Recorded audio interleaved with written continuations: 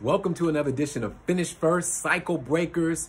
We are here to improve your life. And like I said, I don't take this lightly that I have your attention and I don't choose to waste your time. So I'm going to give you as much information as I can as quickly and as succinctly as possible because I don't want to waste your time, but I want to give you tools that can take your life to the next level. And remember, I'm a judge, but not only am I a judge, I'm a man, I'm a human being. I make mistakes, but what I do is I try to analyze and learn from my mistakes so that I can take my life to the next level. And I want to do the same thing for you. So it doesn't matter if you are in a bad relationship, if you are in a bad job situation, it doesn't matter if you're on probation. Whatever the situation is, there are tools and techniques to take you to your best life. And that's what we're here to do. So let's go. So we're making our way through a book called The Cycle Breaker. Excuse my little note here. I wrote this book because I wanted to give tools and techniques of how to break cycles. If you know anything about what I do here at the court, you know my mission is to be a cycle breaker. But more important than just me being a cycle breaker is creating tools so that you can break any cycle in your life. And again, like I said, it doesn't matter if it's something personal. Maybe you want to stop smoking. It could be simple, something as simple as that. Or maybe it's the criminal behavior that you've been involved in because of your environment or because of your exposure. It takes tools and techniques to break cycles, and that's what we're going to talk about. Now, remember, there are four elements of a cycle breaker even before we get to the book. The first one is recognizing the need to break the cycle.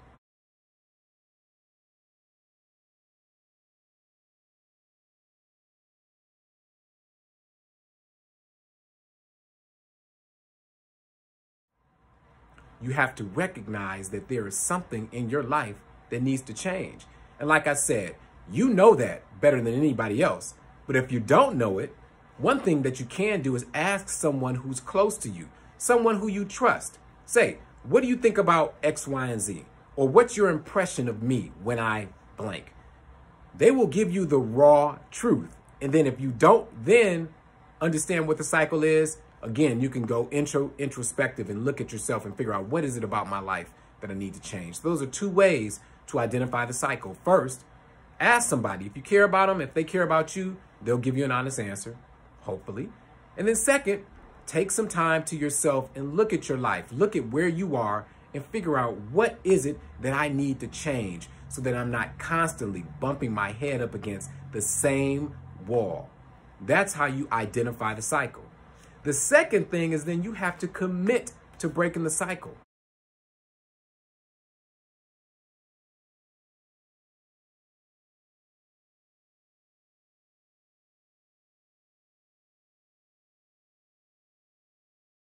See, it's not enough just to know what you need to do.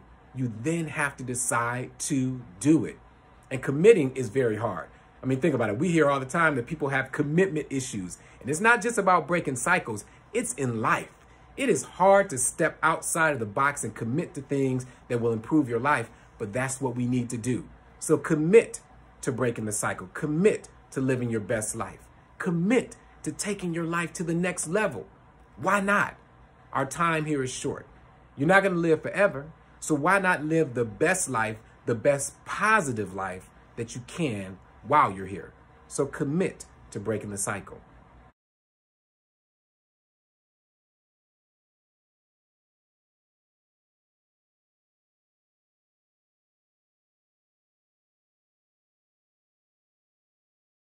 And then you have to get the tools necessary to break the cycle. You know, there was some reading I did the other day, and we talked about, and this is a small group I had, and we talked about the right to know and the right to live your best life. But the only way that you get to that stage is by having your tools in order, your ducks in a row. You have to be ready for the opportunities that you want. It's not enough to say that, you know, you want to be a great basketball player, but you won't practice basketball. It's not enough to say that you don't want to wind up in jail again, but you keep breaking the law. Or you want to be in a great relationship, but you keep picking the same person and dating the same person over and over again. You have to get the tools so that you know how to break the cycle. So that's the next step.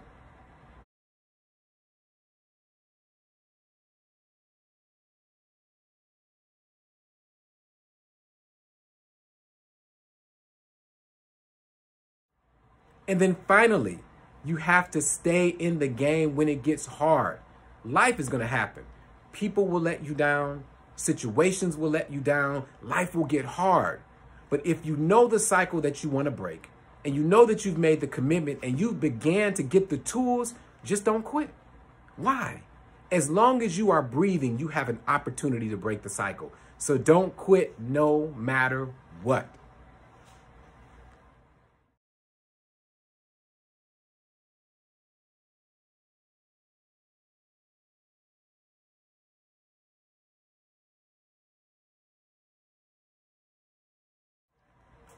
All right, so let's go back to the book. Now, in this part of the cycle breaker, we're talking about the theory called the VCR of how you can be successful. The V was vision and the C is choices. Now, why do I use the term VCR? Because we are busy as people. And the shorter that we can condense something so that you can remember it, that's how you use it as a tool. You'll always remember, what was that the judge was saying? Oh yeah, VCR, VCR. And then you'll remember that it's visions and choices as part of the VCR that you need to be successful. So let's talk about choices. So in the Cycle Breaker, chapter 21, the young men are together in their quarters, and it's after a long day of challenging material, mentally and physically, where they're trying to figure out how do they live this thing called their best life? How do they make choices that will take them to the next level? So they're struggling with that because we all struggle with it. And as the young men are in their cabin together, one of the young men, he starts to talk about breaking away, getting out of this program, leaving. How many times in your life have you wanted to quit? How many times in your life have you heard somebody talk about just giving up? This is too hard for me. I can't stop smoking. I can't leave this relationship. I'll never get off probation. How many times have you heard people talk like that? And that's when it gets hard because your mind will play tricks on you. It's a powerful thing. Your mind is so powerful that it can change your life to the positive or the negative, but at the same time, you have to control your mind. There is a person, there is a soul that is part of you, but also outside of your mind. You can control your mind if you step away from it.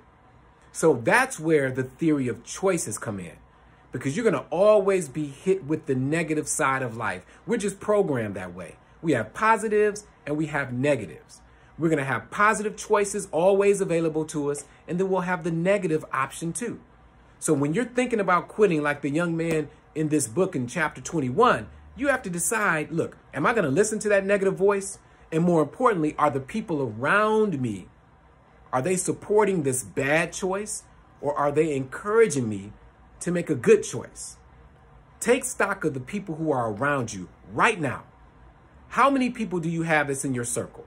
Why don't you number them? Take a stock right now. Number the people in your circle. Make a list. How many people are in your close circle? And then circle the ones who are negative. Always have something bad to say. Always encouraging you to do the wrong thing. And then that circle, draw a line through them because those are the people that you need to eliminate from your life.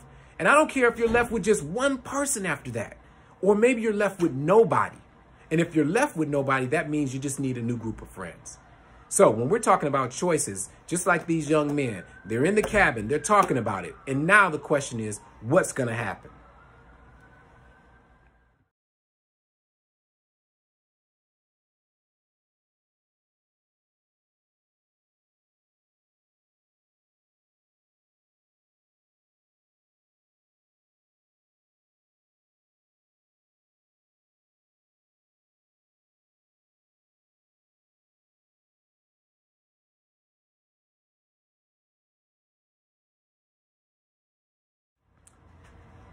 So today I want to I want to focus on giving up.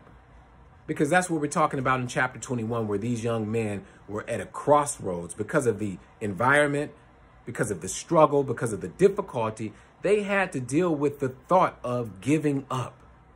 And like I said, you've thought about giving up before. I've thought about giving up before. Let me share a story with you. When I was a young attorney, um, you know, aggressive, wanting to get it, you know, wanting to make a lot of money, wanting to be successful, uh, first, I worked for a firm, and then at some point, I decided to go on my own, which is risky because you never know what's going to happen when you go on your own. In fact, it's like starting all over. So I decided to go out on my own. But what I did was I made some calls and connections to people who could give me a little helping hand along the way. So before I went out on my own as an attorney leaving the firm, I had a few cases already lined up. Now that's great. But what I didn't realize is that in the midst of those cases, you have some messy cases and you have some great cases. So I love the great cases because they gave me an opportunity to make money and to learn how to be a good attorney. But it was the messy cases that ended up being the problem in my situation and in my life. So to make a long story short, I worked as an attorney on my own, but those bad cases that I inherited from somebody else continued to be there. They continued to haunt me. That is a lesson in and of itself. When you are in a situation and you know something is bad for you, you know that person shouldn't be in your life, you need to be willing to eliminate that person from your life. It will be hard. It will take courage, but it will continue to be there with the possibility of sabotaging your entire future because the bad stuff just don't go away, but you can move away from the bad stuff. So here I am practicing law, making my own path, but I knew all along that there were some bad cases. And eventually they caught up with me. And what happened? The bad cases got worse and worse and worse. And to fast forward, it ended up in me actually losing my license. Now think about it. Here you are, I'm Judge Dawson. You see me on, you know, this YouTube video. You see me in court. I'm doing things with my foundation. You know, I'm a, I'm a yogi, all these great things. But yeah, there was a time where I actually lost my license to practice law based on some mess that I didn't clear up and I didn't clean up. Now keep in mind, I didn't create the mess and many times you won't create the mess. But that doesn't mean that mess isn't there and it's going to stop you. So here I was, a young attorney, aggressive, arrogant, you know, thinking that I was the best. And all of a sudden, everything was stripped from me. I mean, everything. It was simply a matter of a moment. I got a call, and that call was Judge. Well, it wasn't Judge at the time. That call said, Attorney Dawson, stop what you're doing. You are no longer licensed. Can you imagine the devastation that I felt? Can you imagine the way that broke my heart? All the work that I did, all the people that I worked hard for, all the people that I tried to help move to the next level. And here I was in a situation with nothing. And let me tell you the worst of it. All of the people who I thought were my friends, they weren't there for me. There were a select few of people that I could call on. But for the most part, to be honest with you, all the people who were there as I rode to the top, all the people who claimed they cared about me, all the people who knew me from my past, they weren't there. Now, do I hold that against them now? No, because that's not me. But just to be honest with you, when you fall down, there's a good chance that the people who claim they are in your corner, the people who claim they are here for you, they won't be there for you. So that's going to add to the despair that you have. So here I am, suspended, nobody to call on. I have a family to take care of and no way to make money. It was bad. So, how does that relate to what we're talking about? We're talking about giving up. Do you think at that moment I didn't want to give up? That I wasn't depressed? That sometimes it was actually hard to get out the bed in the morning because I didn't know where my next meal was going to come from. I didn't know how I was going to make money. But I had to shake it off real quick and realize that I was not going to give up. And the people who played a part in my downfall and prayed for my downfall, I had to show them. So I put that jacket on. I said, you know what? I'm going to show these people that I can get back on my feet. Even though I have friends who turn their back on me, even though there are people who don't even believe in me anymore, I was going to show them. So that's what we're talking about right here. When you're talking about choices, the first thing I want you to consider with your choices is the choice to never give up. Has there been a time in your life where you thought about giving up?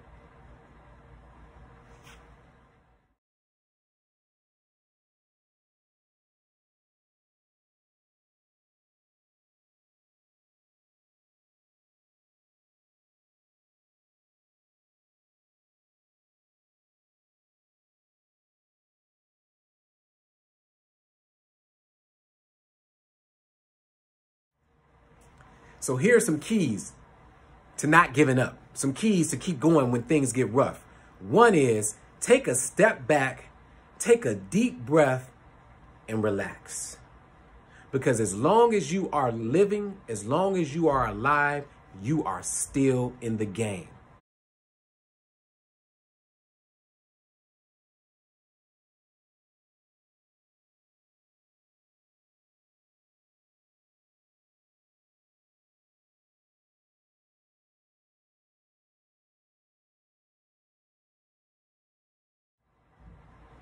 The second step is write it out. Carefully analyze where you are right now.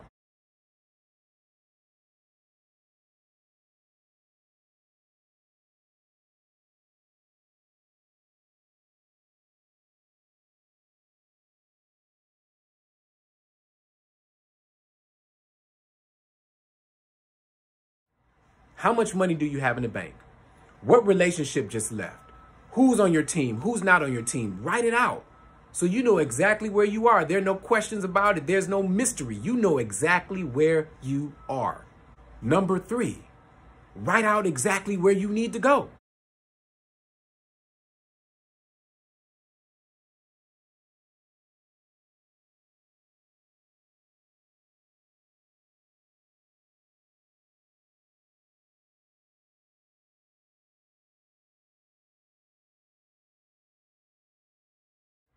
So what are the goals? Okay, I'm stuck in a situation. I just got evicted. Where do you need to go? Oh, I need a place to live. So that's the goal. You wrote out where you were or where you are, and then you documented where you want to go. And then the next thing is to create the steps. What are the steps between where you are and where you want to be? Write those steps out and then get to work. Flat out, get to work.